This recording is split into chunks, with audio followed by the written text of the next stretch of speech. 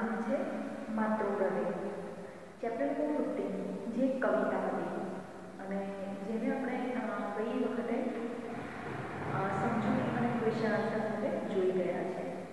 વિદ્યાર્થી મિત્રો, તમારી પાસે ગુજરાતીની સેકન્ડ સેમિસ્ટર એટલે કે દ્વિતીય સત્રની ટેક્સ્ટબુક ના હોય, અને જો સ્ટેશનરી પર તમને એ ટેક્સ્ટબુક ના મળતી હોય, તો તમે એ ગૂગલ પરથી પણ ડાઉનલોડ કરી શકો છો. અને વિદ્યાર્થી મિત્રો, બીજી એક વસ્તુ કે કાવ્યની એ જે છે એ તમે એકવાર નોટબુકમાં લખશો, પછી તમારે કદાચ ટેક્સ્ટબુકની જરૂર નહીં પડે. આથી જે લોકો પાસે ટેક્સ્ટબુક નથી, એ લોકો જો ટેક્સ્ટબુક સ્ટેશનરી પર ના મળે, તો તમે આ રીતે પણ ડાઉનલોડ કરી શકો છો. વિદ્યાર્થી મિત્રો, બીજી એક વાત કહી દઉં કે આ વખતે જે પોસ્ટ મિડટર્મની જે તમે એક્ઝામ આપી છે, તેમાં તમે ગુજરાતીનું પેપર જોયું હશે. અને ગુજરાતીના પેપરમાં ઘણા બધા પ્રશ્નો એવા છે જે મેં તમને ટેક્સ્ટબુક એટલે લેસન પર આધારિત પૂછ્યા છે. અને પ્રશ્ન એક પૂછેલો છે, ફક્ત તેને રીત બદલી નાખી છે. અને આથી જ જે તમને ટેવ પડેલી છે કે એકબીજામાંથી કોપી કરવી, કે જવાબ જે ટેક્સ્ટના એક્સરસાઇઝમાં છે એ જ લખવો, તમે પ્રશ્નને ધ્યાનથી સમજ્યા નથી થોડી નોટ ઉપર નજર કરી છે અને મને ખ્યાલ આવ્યો છે કે જે જે પ્રશ્નો મેં બદલેલા છે, તેનો જવાબ તમે વ્યવસ્થિત જે જવાબ હોવો જોઈએ તે લખી શક્યા નથી. અને એવું કેમ થયું છે? કારણ કે તમે લોકો વીડિયો ધ્યાનથી જોતા નથી. તો વિદ્યાર્થી મિત્રો, હું અત્યારથી કહી દઉં છું કે નેક્સ્ટ એક્ઝામમાં પણ ફાઇનલ એક્ઝામમાં પણ પ્રશ્નો તમારી ટેક્સ્ટબુકના જ હશે, પણ તેના માટે તમારે લેસન વાંચવું પડશે. અને સમજવું પડશે. સિમ્પલ એક એક્ઝામ્પલ આપું, તો આપણે સારા અક્ષર લેસનમાં જોયું છે કે દવાત એટલે શાહીનો ખડિયો. શાહી અને ખડિયો બે અલગ અલગ વસ્તુ છે. શાહી એક પ્રવાહી છે, જેનાથી લખાય છે, જે ખડિયામાં પૂરવામાં આવે છે અને ત્યારે તે ખડિયો બને છે, જેનું બીજું નામ છે દવાત. જ્યારે તમને ઓપ્શન આપવામાં આવે છે દવાત શાહી રિફિલ તમે શાહીનો ખડિયો લખો છો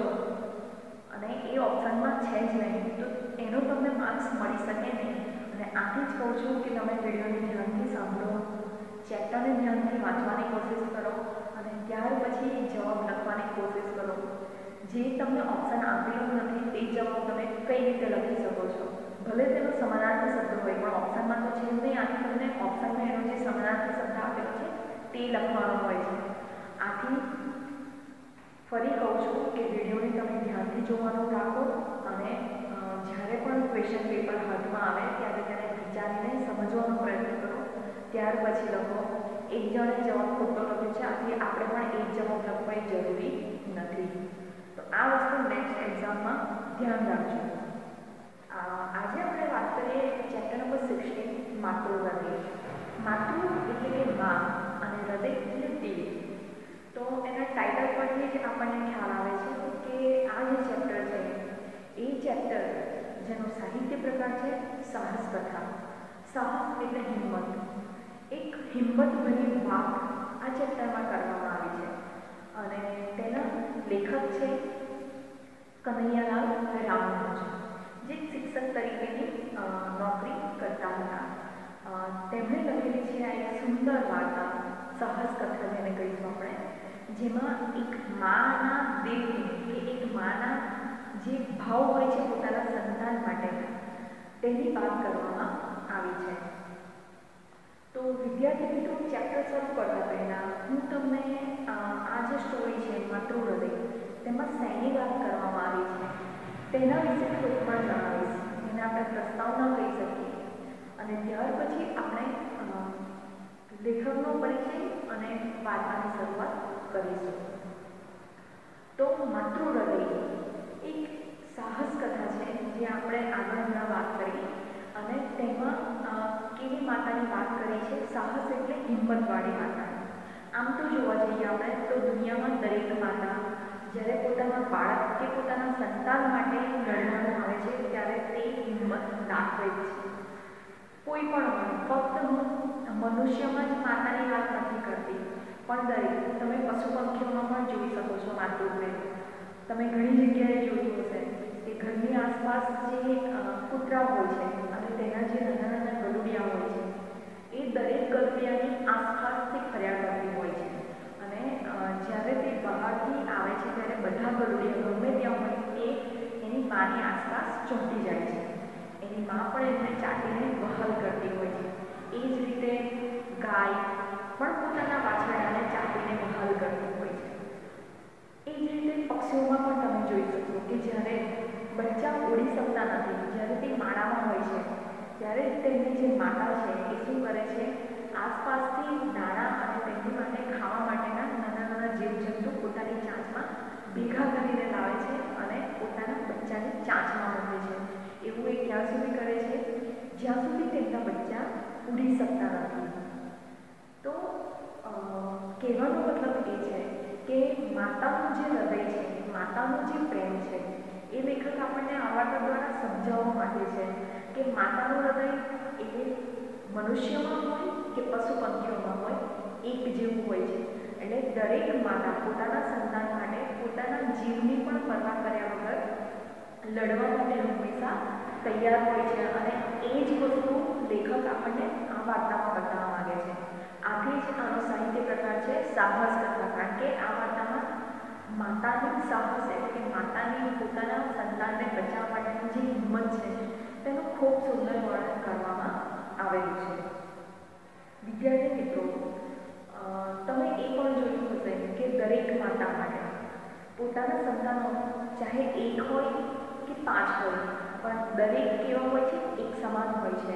એના માટે કોઈ નાનું કે કોઈ મોટું હોતું નથી. એને પાંચેય સંતાનો એક સમાન છે, એટલે કે દરેક પર એક સમાન પ્રેમ વરસાવે છે અને આ જે વાર્તા છે તેમાં ગીર પ્રદેશની વાત કરી છે. ગીરના જંગલો જે પશ્ચિમના ડુંગરોમાં આવેલા છે.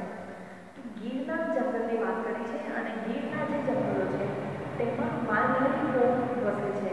એટલે કે આદિવાસી જાતિના લોકો જે વસે છે, જે જંગલમાં જ પોતાનું જીવન વિતાવતા હોય છે. એ કોમની વાત કરી છે કે કઈ રીતે લોકો જીવન જીવે છે અને ત્યાર પછી શું થાય છે. તો આ જે માલધારી કોમ છે, તે ગીરના ડુંગરોમાં વસે છે. જંગલોમાં જ કામ કરે છે અને ત્યાં જ પોતાનું જીવન ગુજારે છે.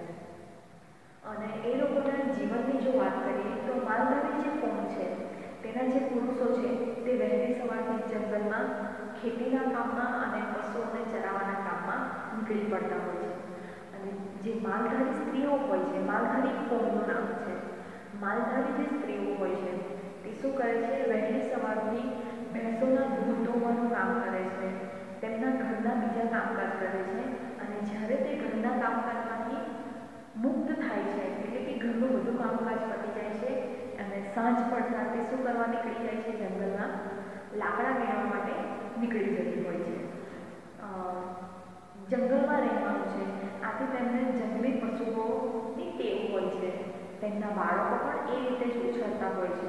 હંમેશા ચોવીસ કલાક તે લોકોએ જંગલી પશુઓને ખાસ કરીને ગીરનું જંગલ, જે સિંહ માટે પ્રખ્યાત છે તો એ જંગલોની ગર્જનાઓ વચ્ચે તે લોકોએ જીવન ગુજારવાનું હોય છે દીપડાઓની લુચ્ચાઈ એટલે કે દીપડા જે પશુ હોય છે, દીપડો જેને આપણે કહીએ છીએ, તે પણ ગીરના જંગલોમાં જોવા મળે છે. તો એ લોકોથી બચીને પણ આ કોઈ જીવન વિતાવવું પડતું હોય છે અને છતાં આ લોકો સામાન્ય જીવન ત્યાં જીવતા હોય છે. તો આ લોકોની રોજની દિનચર્યા છે કે આખો દિવસ કામ કરવાનું અને સાંજે, સાંજ પડતા જંગલમાં બળતા કારણ કે એ લોકો પાસે આપણી જેવા ગેસ નથી. ઇલેક્ટ્રિક સગડી નથી. આથી એ લોકોએ જો જમવાનું બનાવવું હોય, તો ચૂલો સળગાવવો પડે છે. અને આથી તેમને લાકડાની જરૂર પડે છે.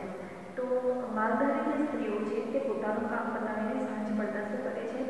જંગલમાં લાકડા મેળવા નીકળી જાય છે.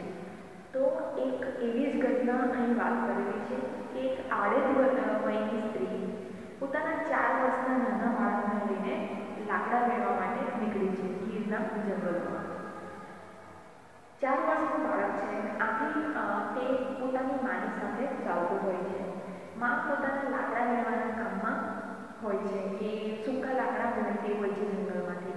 અને પેલું જે ચાર વર્ષનું નાનું બાળક છે, એ બાળક માની સાથે સાથે ચાલતું હોય છે.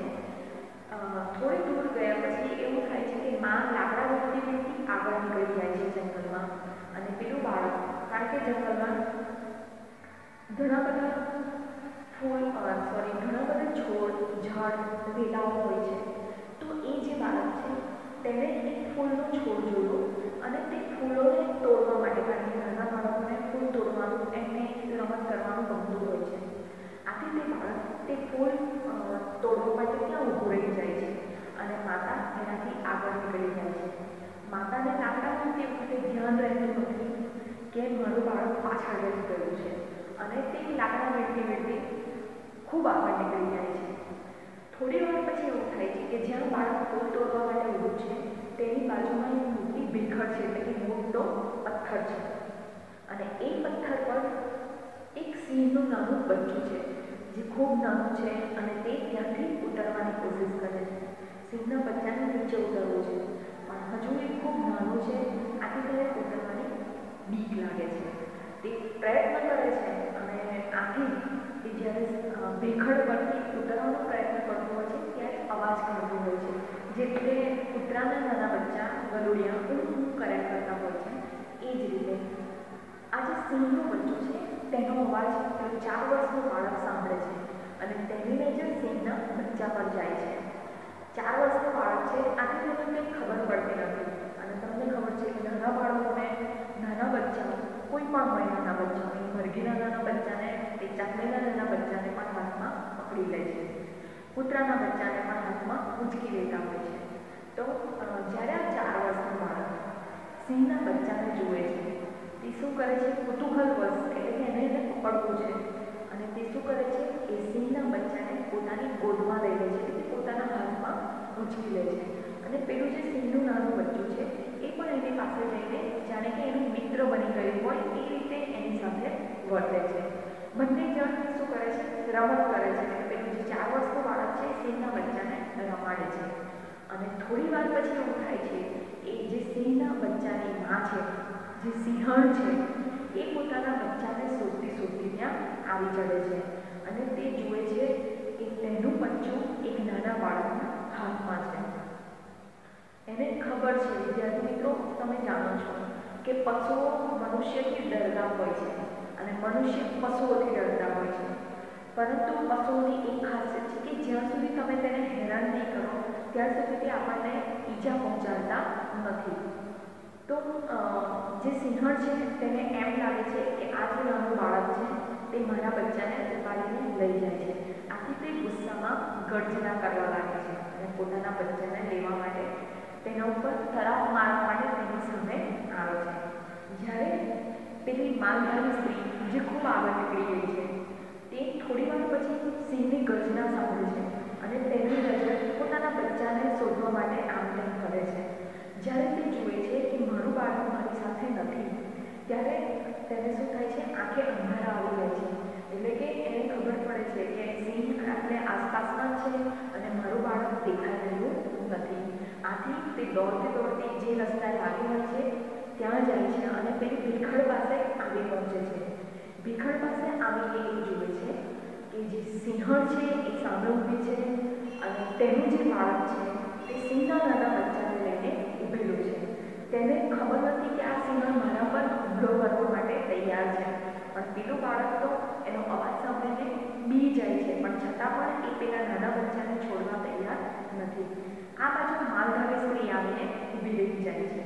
અને માલધારી સ્ત્રી જ્યારે આ દ્રશ્ય જુએ છે કે સામે સિંહણ છે બાળક છે અને બીજી તરફ તે છે. એ પોતાના બાળકનો જીવ બચાવવા માટે, કારણ કે એને ખબર છે કે હમણાં સિંહણ મારા બાળક પર હુમલો કરશે અને તેને મારી નાખશે. આથી તે નજીક જતાં ડરે છે અને તે પોતાના બાળકને દૂરથી સમજાવવાનો પ્રયત્ન કરે છે કે સિંહણના બચ્ચાને છોડી દે, એટલે કે નીચે મૂકી દે. પણ બાળકને તેની સાથે મજા આવે છે, તેની સાથે મિત્રતા છે. આથી બાળક જલ્દી તેની વાત માનતું નથી અને તે સિંહના બચ્ચાને છોડતું નથી. આ તરફ સિંહણ હુમલો કરવા માટે ઘોરડિયા કરતી હોય છે, ગર્જના કરતી હોય છે. અને એ સમયે જે માલધારી સ્ત્રી છે અને સિંહણ છે, બંનેની આંખો એકબીજાને મળે છે. અને બંનેની આંખોમાં પોતાના બાળક માટેનો પ્રેમ છલકાય છે. માલધારી સ્ત્રી પોતાનું બાળક, પોતાના બાળકના જીવ બચાવવા માટે શું કરે છે? તેને વિનંતી કરતી રહે છે. અને અચાનક બાળકને શું થાય છે? ધીમે રહીને બચ્ચાને નીચે મૂકી દે છે. અને જેવું તે બચ્ચાને નીચે મૂકે છે, એ જે સિંહનું બચ્ચું છે, તે પોતાની મા પાસે દોડતો દોડતો જતું રહે છે. અને આ બાજુ માલધારી સ્ત્રી પોતાના બાળકને પોતાની ગોદમાં લઈને બે ઘડી માટે સિંહણ સામે જુએ છે અને ત્યાર પછી તે પોતાના ઘર તરફ ચાલી જાય છે અને સિંહણ પોતાના બચ્ચાને લઈને એના ગુફા તરફ જાય છે. તો વિદ્યાર્થી મિત્રો, આ ખૂબ સુંદર સ્ટોરી છે. જે માનો પોતાના બાળક પ્રત્યેનું જે પ્રેમ છે તેને દર્શાવે છે. તેનું આપણે સાહિત્ય પ્રકાર, જે સમાજ કથા છે, લેખક જે કન્યાના નામાનો છે, તેમના વિશે અને આ ચેપ્ટરની જે સમજૂતી છે, તેના શબ્દો સાથે નેક્સ્ટ વિડીયોમાં જોઈશું.